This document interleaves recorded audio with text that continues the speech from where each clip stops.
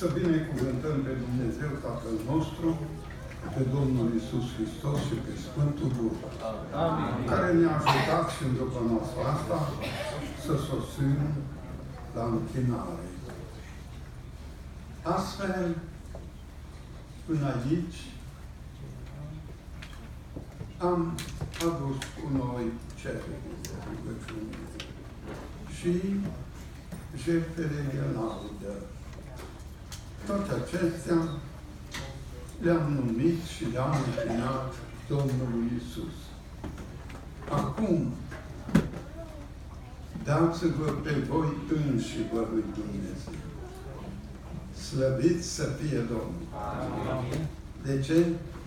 Pentru că, într-o oarecare măsură, Dumnezeu vrea acum să ne vorbească prin Sfântul Cuvânt. Și s-a citit acest bogat cuvânt din primul capitol al faptelor apostolilor.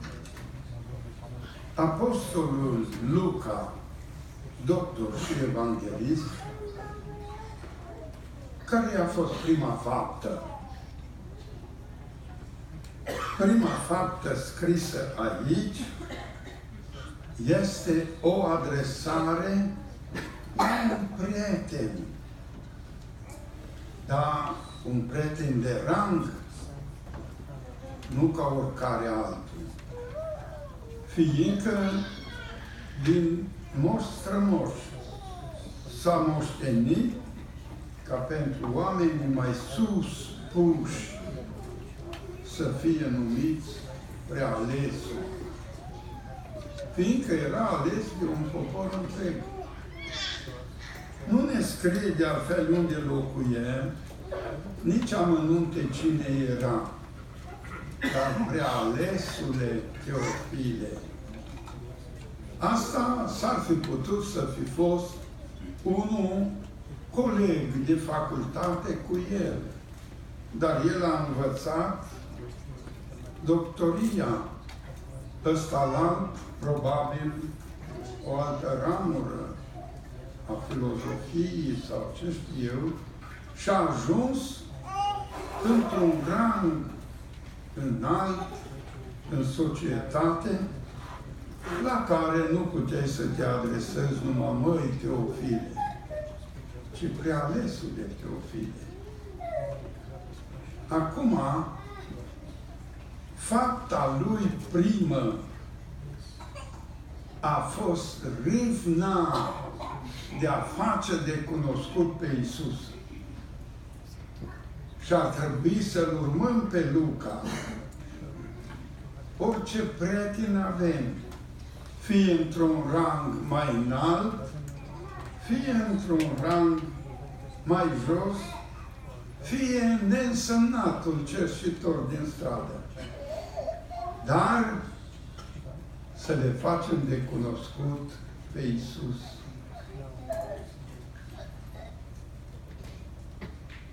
Am fost prin Harul lui Dumnezeu de mai multe ori chemat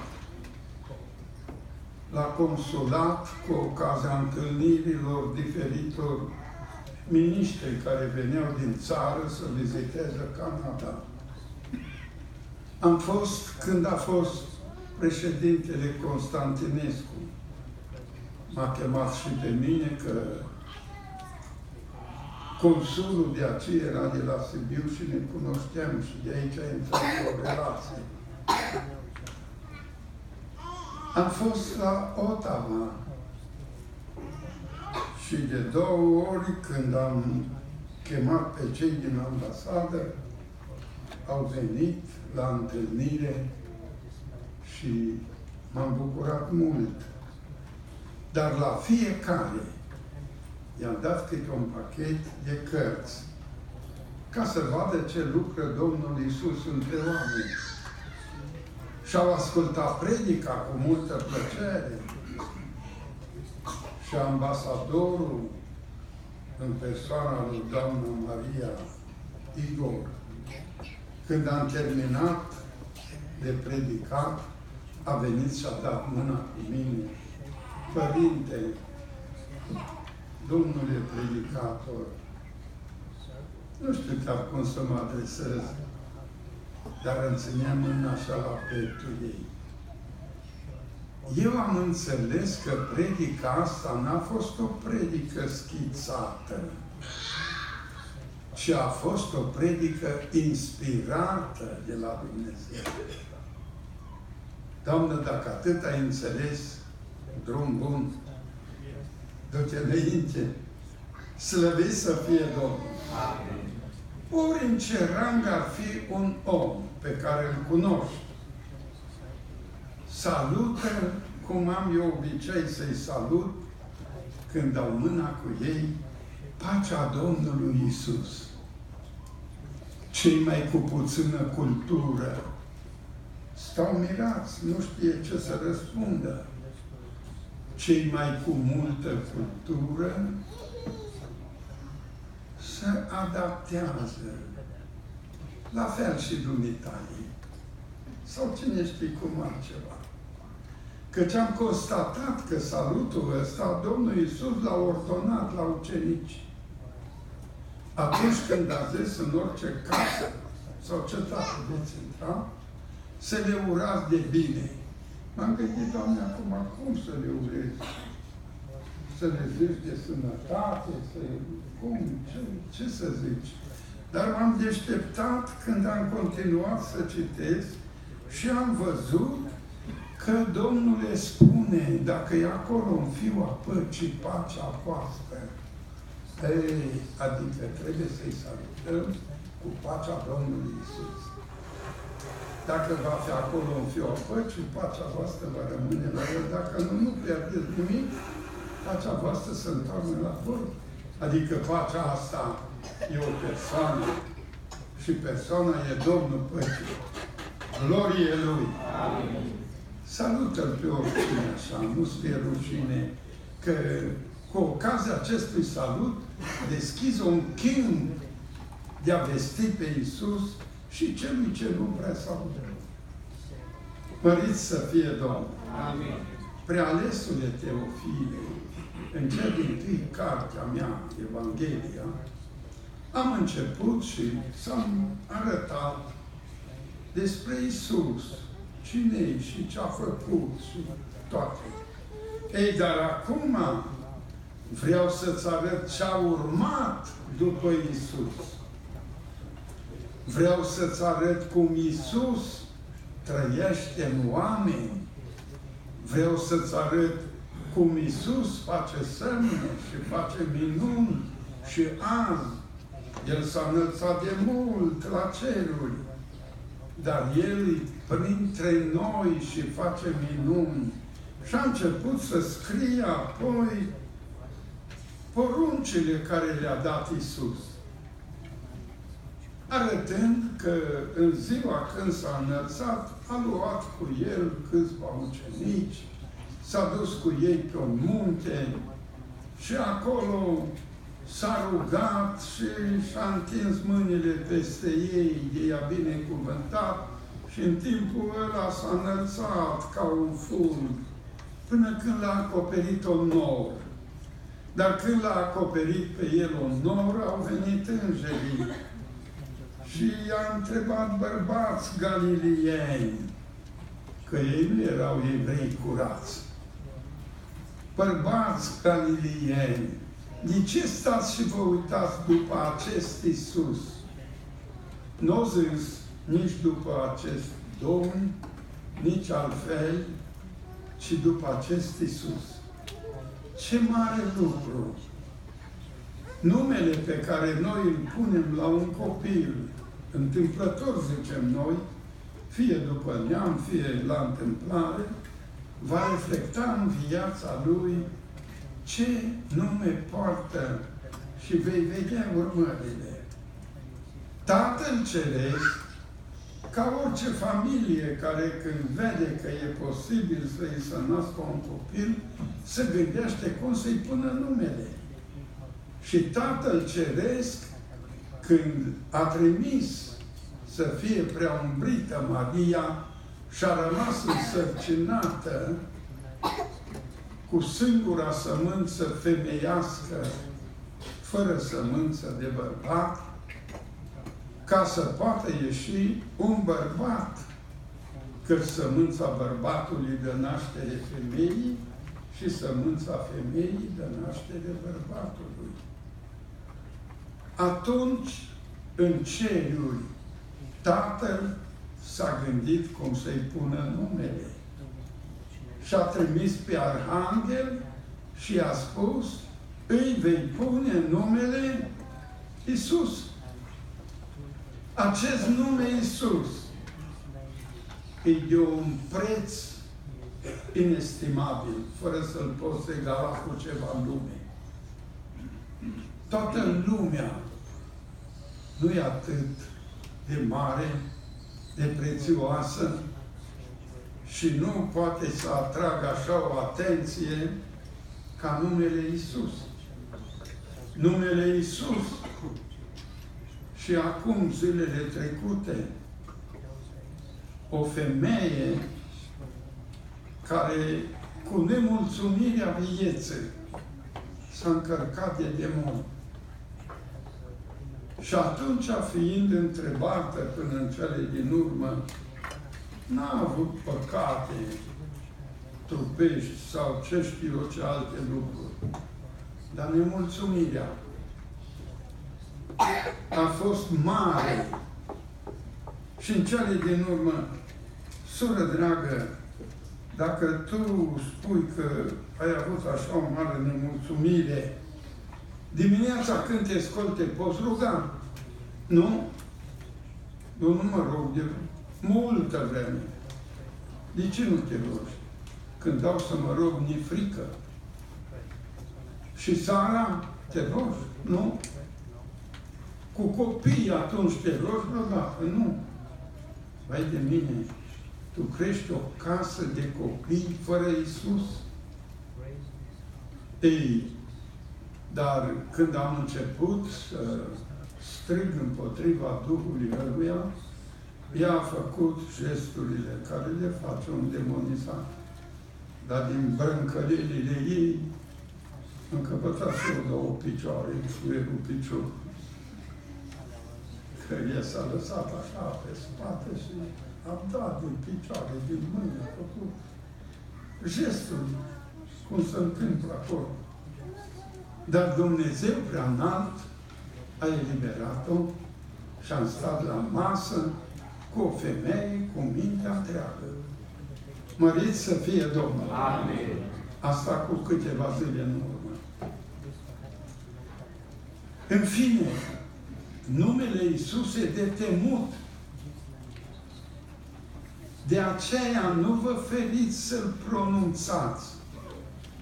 În rugăciune, mergând pe drum, oriunde întâlnești pe cineva, fie chiar așa ca și cum ai scăpa o glumă, ceva de râs, dar spune ceva de Isus omului cu care stai de vorbă. Prea multe înșiri și pe Isus nu-L pomenești. Și asta îți va da putere mare. Domnul Iisus Hristos le dă porunci în porunca dată de peste tot timpul cât au fost împreună, acest minunat evanghelist notează că el a dat poruncile sale prin Duhul Sfânt. Adică, așa cum a zis el altă dată, eu nu vorbesc nimic de la mine, eu nu judec pe nimeni, eu nu fac numai ce văd pe Tatăl.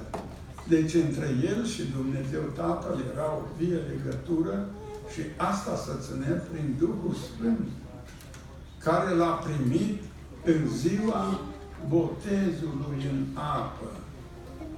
De aici s-a născut teologia celor ce nu cred în botezul cu Duhul Sfânt, numai cât o fi păstorul baptist de mare sau altul, oricare altul, nu pricepe când citește în trei locuri în Sfintele Evangheliei că botezul cu Duhul Sfânt nu a fost concomitent cu botezul în apă. Ei se sprijinesc pe simpla teologie, Tatăl, Fiul și Duhul Sfânt una sunt, nu pot fi despărțiți și gata, când te botezi în apă, ai primit și Duhul Sfânt. Catolicii fac catecheze de obicei și încă alte culte cu băieți, cu fete, pe la 14-15 ani. Și atunci preotul, după ce îl tot învață una alta, ultima dată, îl bate de trei ori cu palma pe umăr, primiți Duhul Sfânt. Și zice că e botezat de Domnul cu Duhul Sfânt. Dar el nimic nu simte, nimic nu știe, nimic nu se transformă. Ei, acum am avut multe discuții cu păstori baptiști, de exemplu, în Sibiu și în umbletele mele, așa, care susțineau ideea asta. Le-am spus, nu se poate, mă. Hai să citim. Și am citit în capitolul 3 la Matei, am citit la Marco, am citit la Luca. În fiecare loc spune pe când ieșea din apă. Celălalt continuă pe când era pe țărm și celălalt pe când se ruga. Deci botezul în apă a fost acolo, acum el a ieșit pe țărm, sigur a îngenunchiat și s-a rugat. Și în timpul ăla a coborât Duhul Sfânt peste el. Mărit să fie Domnul! Influențat din asta Apostolul Petru, zice în fapte 2 cu 38 și acolo așa, că să credeți, să fiți botezați și apoi veți primi darul Duhului Sfânt. Dar de altfel noi constatăm că Duhul Sfânt îl primesc cei ce cer și cred. Fără stăruință nu prea să primește Duhul Sfânt. Cu toate acestea sunt persoane pe care Duhul Sfânt le inundă până când ei nu știe să ceară. Le inundă. Mai ales dacă citesc și cred ce citesc. Duhul Sfânt coboară peste ei și îi face să se rajă, măcar că nu s-o ruga niciodată în viața lor. Am văzut cazul care n-a știut să rostească nici tatăl nostru, nici nimic. A, ce, a citit cartea pe care am spus-o, volumul 1 a amintirilor din țară, lucrări făcute de Duhul Sfânt și când a terminat cartea de citit, a zis, Doamne, dacă ai lucrat cu omul ăsta așa și cu mine poți lucra. S-a pus în pate la noapte târzie, ca pe la două, a primit o lovitură în coastă. A sărit din pat. Care ești, mă? Care ai dat? Să-mi durerea. Care ai dat? Să întoarnă în toate părțile, nu era nimeni a prins becul, s-a pus seara. Pe când a țăpit bine, a căpătat a doua lovitură, a sărit din pat cu gândul că poate s-o băgat în dulap și el nu l-a văzut repede pentru el. Dar în același timp a auzit, scoală-te și te rog. A deschis dulapul cu frică, nu-i nimeni. Nu s-a mai pus în pat, s-a pus pe genunchi. Și el nu știa să se roage nimic. El toată viața lui de tânăr, foarte tânăr de altfel, o petrecea cu desfrânatele în mijlocul orașului în Chicinel. Nu sunt și cu toate negresele. Și minunea lui. Și Dumnezeu, citind cartea, el a crezut ce a citit acolo și Duhul Sfânt l-a inundat. S-a sculat de pe genunchi la șase dimineața vorbind în alte limbi.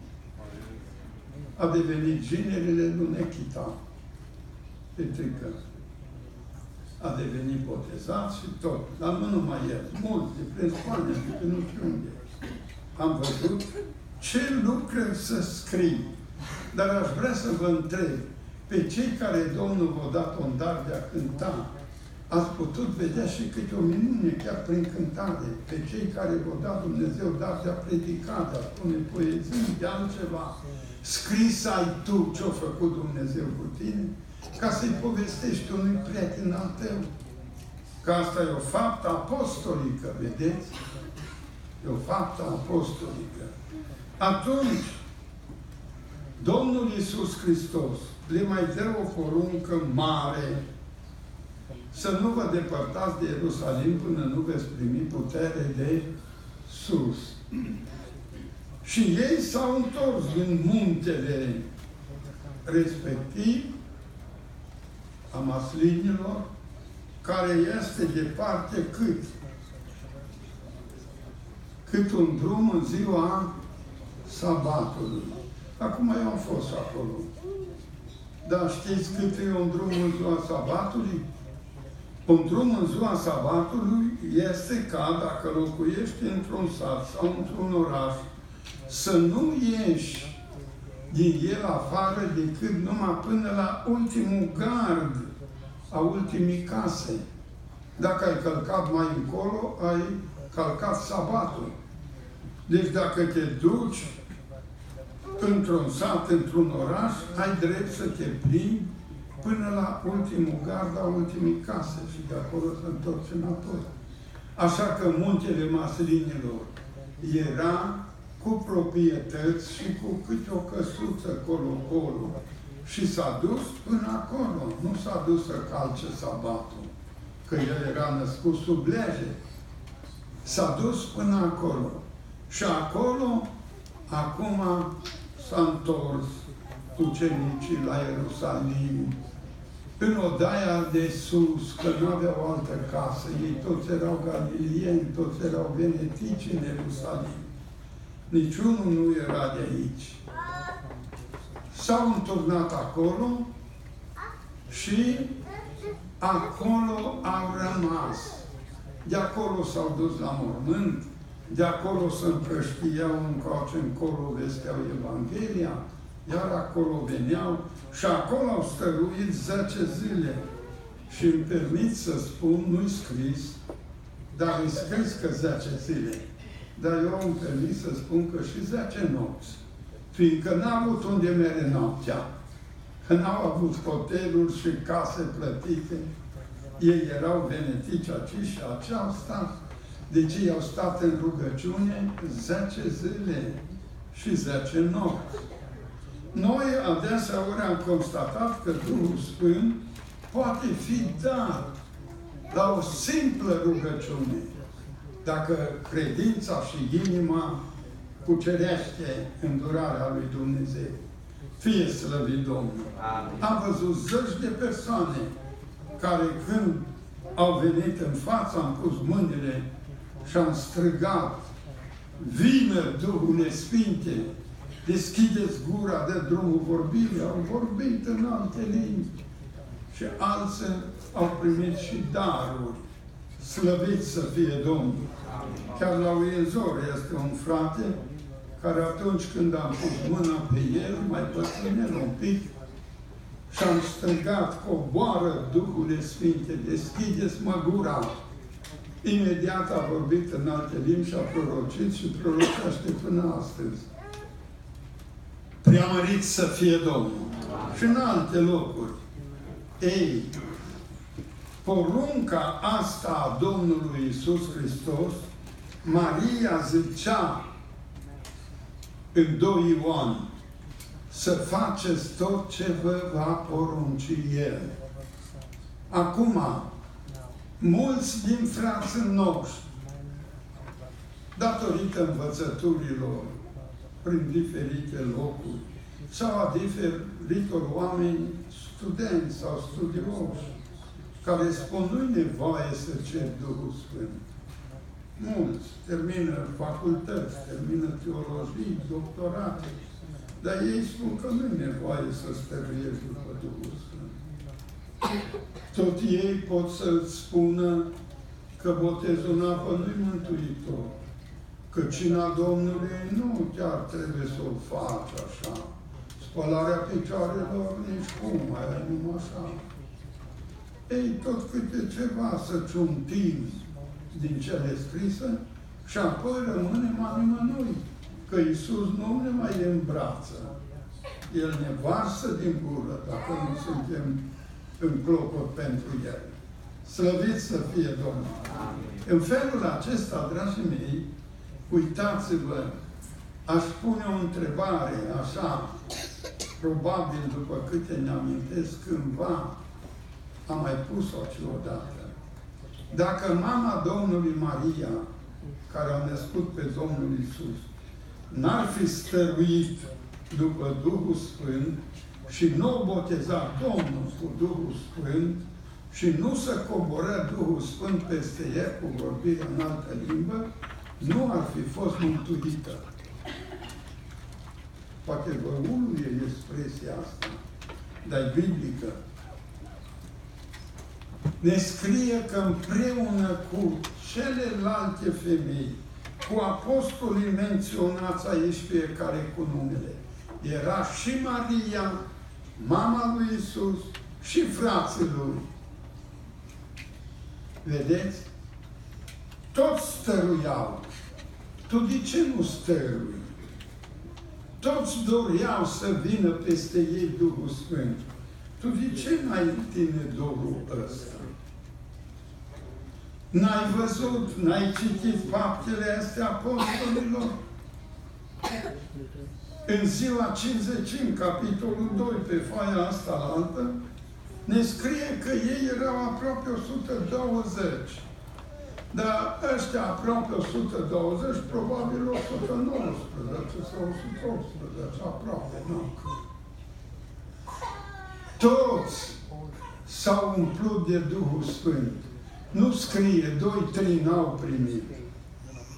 Că atunci ai avea motiv să zici, apoi nu toți vorbesc în limbi. E una să ai darul vorbirilor în limbi și alta să ai semnul botezului cu Duhul Sfânt, care se poate manifesta cu câteva cuvinte în altă limbă. Dar vorbirea sau darul vorbirilor în altă limbi, aceasta se poate întâmpla în fiecare rugăciune să vorbești o altă limbă, o altă limbă, sau în aceeași rugăciune. Un fragment să vină într-o limbă și alt fragment în altă limbă. Ăla e darul vorbirilor în limbi. Dar semnul vorbirii în altă limbă este cu cuvinte mai puține, dar trebuie să ai semn că Domnul te-a atins și te-a botezat. Atunci, dacă mergi mai departe de aici, vei întâlni pe Filip la Samaria. Nu? Și acolo el, botezat de Domnul cu Duhul Sfânt, face semne, minuni, predică și un oraș întreg. Nu știu cât era de mare. Dar un oraș întreg, toți din Samaria au crezut și au fost botezați în apă. Dar acum, vedeți cum notează, a venit și le-a spus la apostol că Samaria a primit cuvântul, că au fost botezați. Și apostolii au delegat pe Petru și pe Ioan să se ducă la ei. De ce? Că niciunul din ei încă nu primise Duhul Sfânt. Măi, omule, vezi bine, citești bine? Păi ei au fost credincioși, ei au primit cuvântul, ei au primit botezul în apă, dar nu aveau Duhul Sfânt, mă.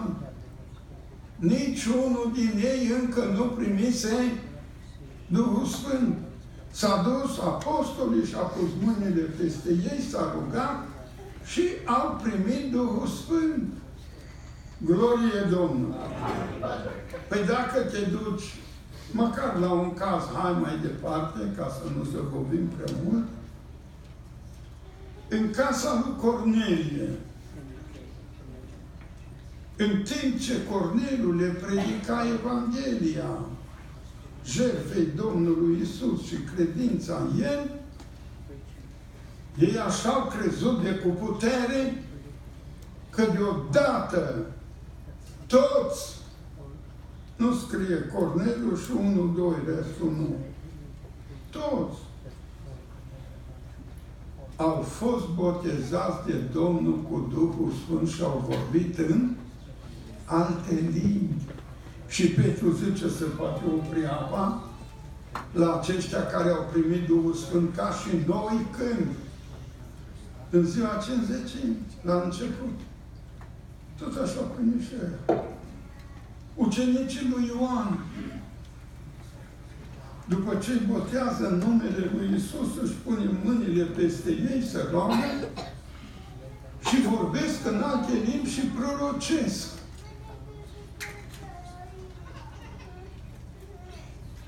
Dragii mei, nu vă înșelați. Nu lăsați doar un titlu Biserica Apostolică. Trebuie să fiți apostoli. Nu lăsați doar un titlu de ștampilă Biserică Pentecostală.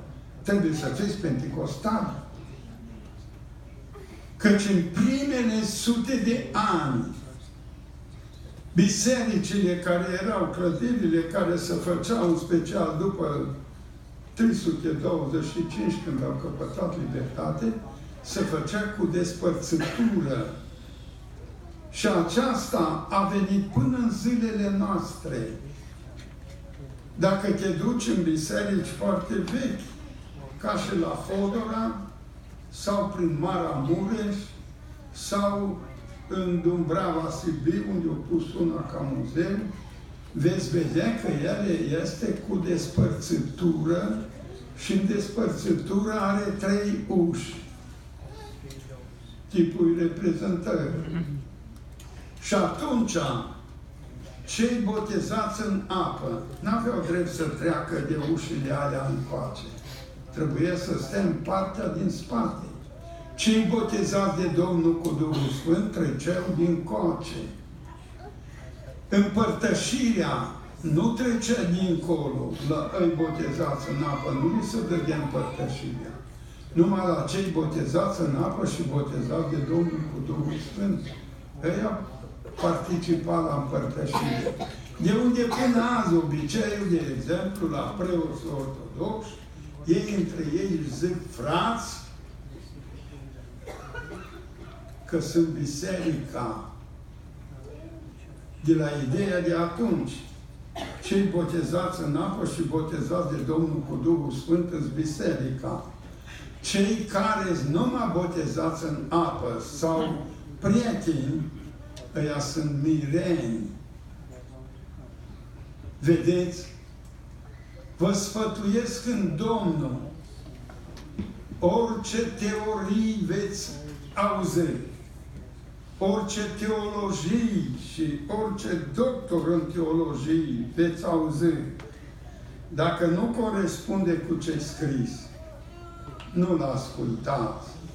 Sau dacă l ascultați, nu puneți la inimă. Lăsați-l să vorbească. Voi alegeți cei buni. Slăviți să fie Domnul. Vreau să închei că s-a dus timpul meu și dacă la urmă de tot cineva dorește să stăruiască, mă gândesc că nu ne va împedeca nici de jos, nici timpul morții, să facem și o rugăciune stăruitoare. Poate că Domnul să îndură și în țara asta, să dea Duhul Sfânt celor cel cer și cred. Amin.